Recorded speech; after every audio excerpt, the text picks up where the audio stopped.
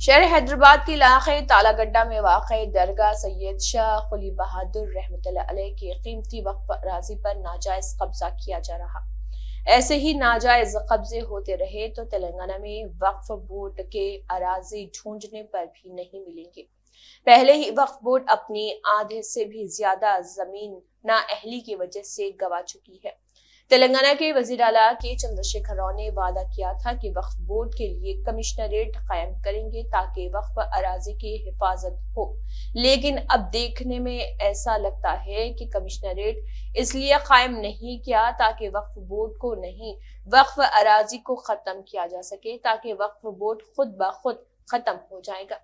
हैरानी की बात यह है कि दरगाह शाह खली बहादुर रहमत अब तेलंगाना वक्फ बोर्ड के डायरेक्ट मैनेजमेंट में है।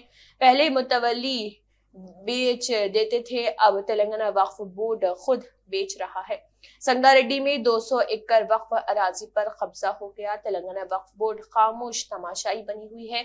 महबूब नगर कलेक्टर ऑफ़िस के करीब 18 एकड़ वक्फ अराजी का मुकदमा वक्फ बोर्ड की नाअहली की वजह से हार गए।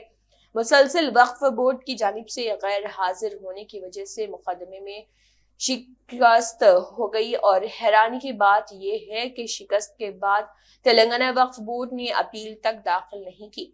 इससे मालूम होता है कि किस तरह वक्फ बोर्ड अपना काम अंजाम दे रहा ताकि आने वाले दिनों में वक्फ अराजी ढूँढने पर भी नहीं मिले।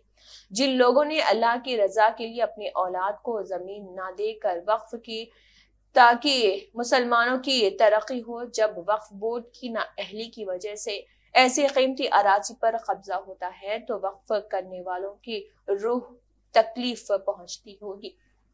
लेकिन वक्फ बोर्ड के जिम्मेदारों को इससे कोई लेना देना नहीं है। आइए देखते हैं ये रिपोर्ट।